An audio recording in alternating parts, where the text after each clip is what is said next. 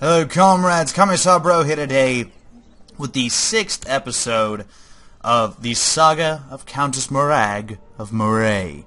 That's right. Now, last time we were defeated by a coalition of various baron or like barons and and counts who decided that Morag of Moray was too powerful and her epicness should not be allowed to spread. This is a travesty, frankly. I mean, personally, I know myself, I'm, I'm very disappointed. I was expecting quite an easy victory against Caithness to unite Scotland under the banner of Countess Morag of Moray, but unfortunately, that did not happen. And now it seems our dear Countess is getting older, and frankly, eh, we, we, we kind of need, we need, you know, we need, we, we need things to happen. Oh, good, we got Gregarious. Perfect. That's exactly what we needed. Uh, we could pay for some medication. Yes, let's do that. We need all the prestige we can get. Now, we do need money, but we mostly need some prestige that we may declare war on someone again. Um, and frankly, I don't really know what we're going to do because this isn't a good situation, guys. We're not married. So, yeah, I mean, we're not married. Our army is pretty devastated. I mean, it is rebuilding bit by bit, but unfortunately, our vassals are not really giving us what we need for a full-on assault of enemy forces. That's right, and we don't want to make their loyalty any lower, but jeez, we really need to get this under control, don't we? Thankfully, we do have a son, so if Morag happens to die, don't worry. The line of succession is indeed secure.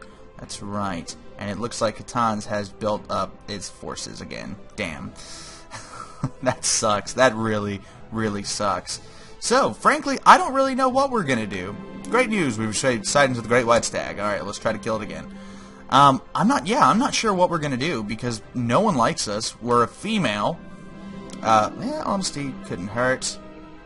Honesty can hurt. Yeah, okay, whatever. Yeah, I don't really mind losing that one all that much. Why would I care about some such crimes? Will not go unpunished. Sweet. Diligent. Alright. We are just getting her where she needs to be. She's gregarious. She's diligent. She's a great leader. Like, I mean, the stats are... Her martial and stewardship ability are much better. Her intrigue, learning, and diplomacy are roughly... They're not bad. They're, they're pretty high, all things considered. And our forces are actually pretty good. So, we've got a decent-sized army, but we don't have enough men and money to fight off other people. Let's see. Fruitlessly scouring the countryside, you come upon a small cottage in the woods. As you knock, a handsome young man opens. He pauses, then gives you a warm, inviting look. It's very lonely out here. I wonder if you'll stay the night. Hmm, yeah, I think we'll stay the night. Yeah, get that general opinion up. Ooh, next morning you wake with a warm body next to you. You spend a long, pleasant night in the cabin, but it's time to get back to the world outside. Your companion looks you in the eye, caresses you, and asks you to stay a little bit longer. Why don't you come back to court with me? Yeah, good. Now we have someone, ooh, with good stats. That's exactly who we want to get married to. Alright, and he's young. Oh goodness gracious. Alright, so that's what we're going to do now. We're going to get married to him. Matrilineal. That's right. Alright, so now we actually have a good counterpart to assist us in the world. Is trying to assert my title. His Chancellor Bishop, we could make him disappear. Or we could try to bribe him. Absolutely not. No, make him disappear. The assassins, yes, yes, fuck you. Mwahaha! Mwahaha! Yes, yes. Morag of Moray is no innocent bonny lass. No, she is a brutal, ruthless tyrant. Not really. She's actually a pretty nice gal, if you get to know her, if you take your time and whatnot.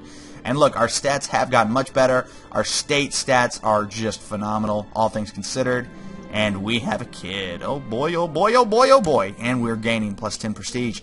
It's going to take us a while to get our prestige back up to where we need it to be, so I might skip ahead a few years, but eh, not much is probably going to happen anyway. Oh no, the Countess is ill.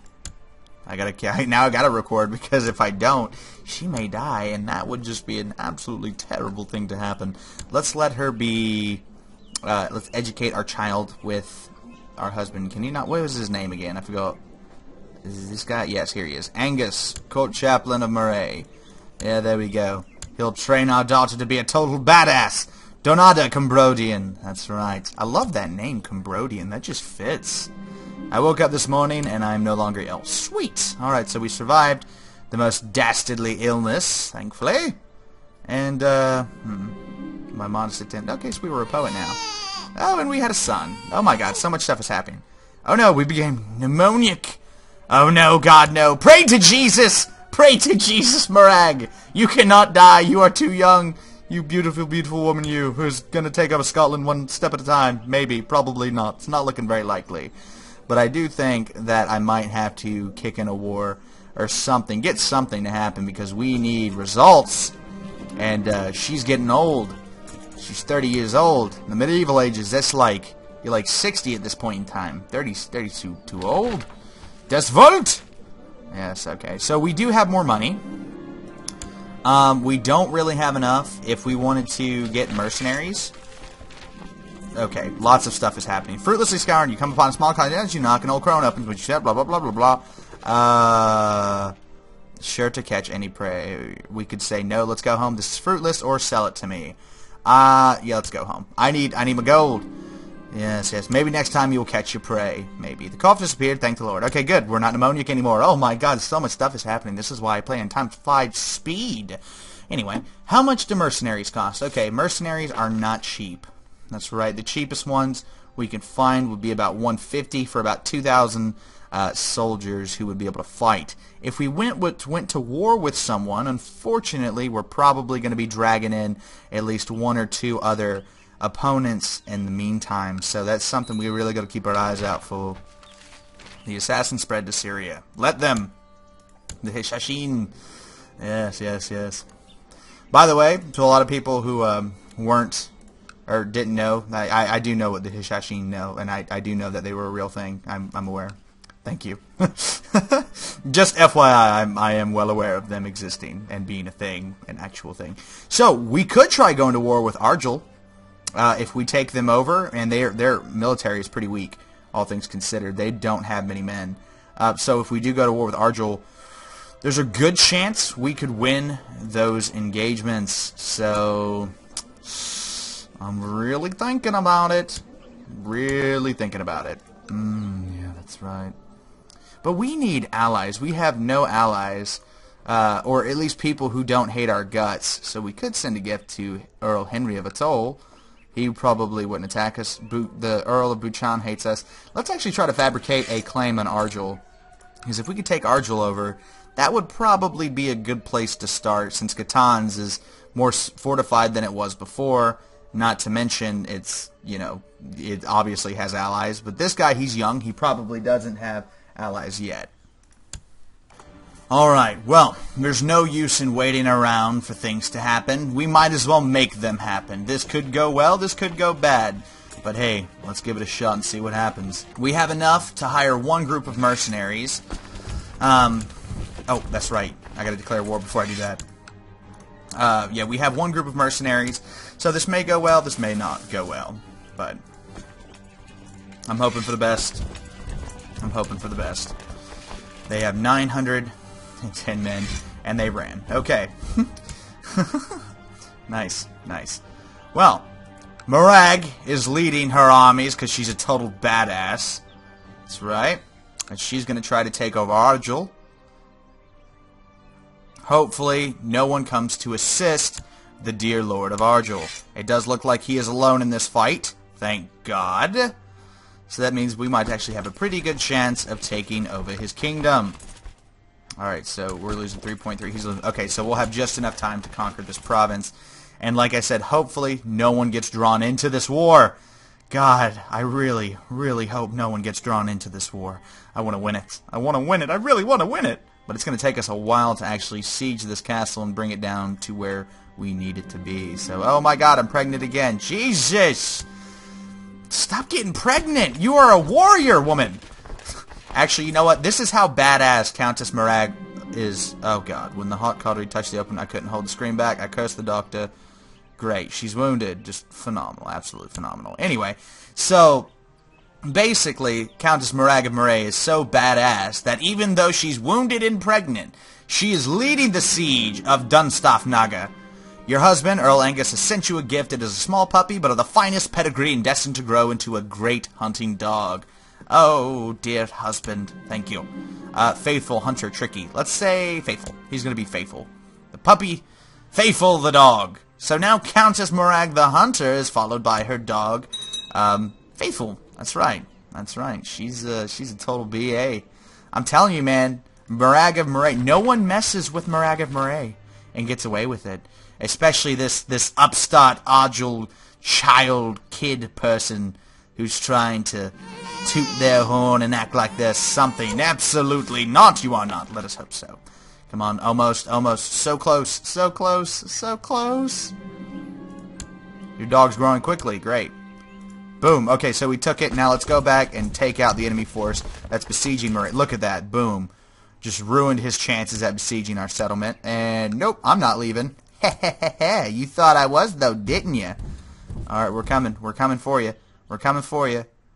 Come on, come on. Intercept, intercept. Come on, intercept. Damn, auto saves. I need to turn that auto save feature off.